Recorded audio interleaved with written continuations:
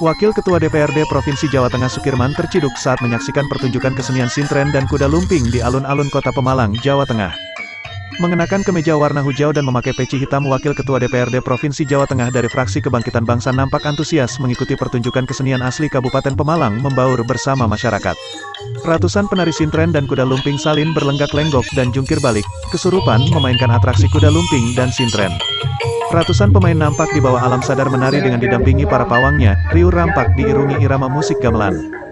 Menurut Sukirman kesenian asli Jawa ini sangat disukai dirinya dari kecil dan Sukirman mengusulkan nantinya akan diprioritaskan untuk mengisi acara, acara resmi agar eksistensi budaya diterpinggirkan oleh perkembangan zaman. Suka kesenian ini juga Pak? Suka kesenian ini juga, suka nonton? Kenangan kecil ada Bapak? Ada ya? Harapannya bagaimana Bapak? Pak, eh, suka untuk kesenian seperti ini Pak?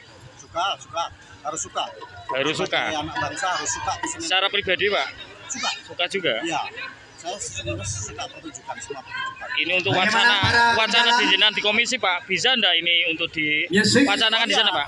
ini tadi Iya. dialog tadi Mainkan lagi. adalah untuk eh, melestarikan kebudayaan ini sosialisasi pembangunan melalui tradisional dan itu seluruh Jawa Tengah Sementara itu, Bowo penasehat Dewan Kesenian Pemalang berharap kesenian ini akan mendapatkan perhatian lebih dari pemerintah daerah. Ada 10 grup. Eh, campur ini Pak, pokok dari dari selatan semuanya dari selatan.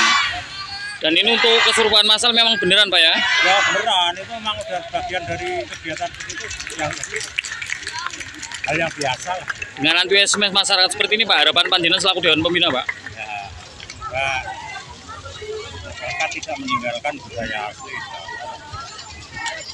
jadi mau melihat berarti kan masih ada kepedulian Oleh perkembangan zaman para pemain dan pengurusan yang tergabung dalam Dewan Kesenian Pemalang berharap semoga kesenian Pemalang ini dapat dilestarikan selamanya. Dari Pemalang Ragil Surono melaporkan.